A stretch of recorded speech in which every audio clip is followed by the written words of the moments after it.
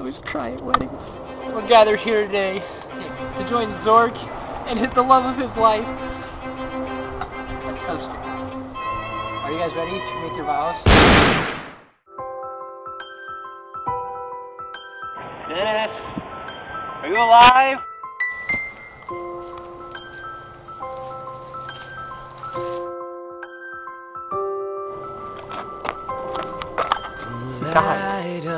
No! This is what we call a dysfunctional partnership. there anyone? Oh, it has begun.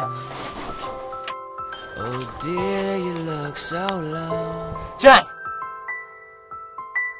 Eyes are red and tears are shed. This world you must have crossed, you said. You don't know me, and you care.